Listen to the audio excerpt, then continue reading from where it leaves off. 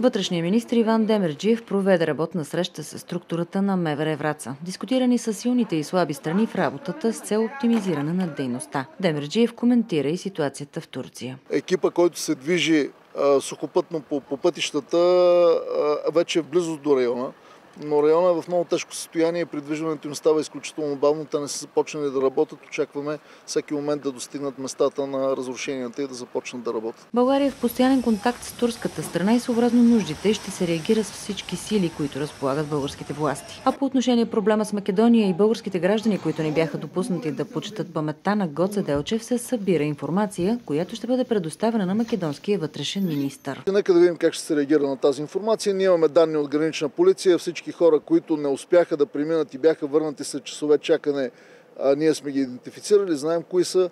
Става въпрос за около 200 човека, така че търсим обяснение защо това се случи, въпреки че аз получих уверение, че няма да има подобни инциденти и пречки, създавани от а, тяхна страна. Главен акцент на работната среща във Враца е връщането на хартияните бюлетини за вота на 2 април, допълни още Демерджиев. Както традиционно се оказва, хартияната бюлетина привлича повече лица, които искат да участват в купуване или манипулиране на гласове, само че да дава и повече възможности да заловим такива лица. Ще направим всичко необходимо, точно това да се случи и хората, които стоят за тези практики, да бъдат изправени пред закона. Очакванията на вътрешния министр при провеждането на тези парламентарни избори е засилване на активността в купуването на гласове.